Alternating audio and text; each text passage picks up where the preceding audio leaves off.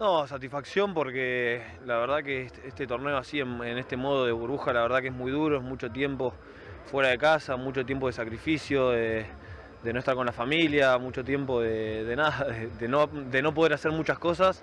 Así que nada, me parece que, te, deja una, una, linda satisfacción, un alivio de, de haber llegado hasta acá y haber ganado el último partido del torneo. Me parece que en este momento que que Argentina, que, que toda Latinoamérica, pero Argentina no tiene competencia y nosotros somos, podemos jugar y se sigue, sigue habiendo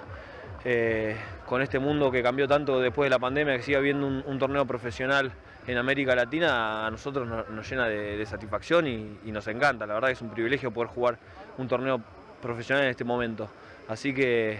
nada, para, para un equipo argentino que capaz sí viene como, como, como el equipo que tiene que ganarlo, está bueno que, haya sido así y, también esa presión de, tener que ganar estos torneos nos, hace concentrarnos hasta el final y dejarlo todo hasta el final.